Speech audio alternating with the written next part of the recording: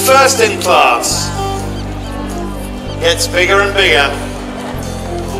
As the decade wore on, cars became longer and longer, and this is one of the longest. The 1959 Cadillac Eldorado Biarritz convertible, and it's owned by Lawrence M. Camuso of San Jose, California. Will it fit on the ramp? Yes, I think it will.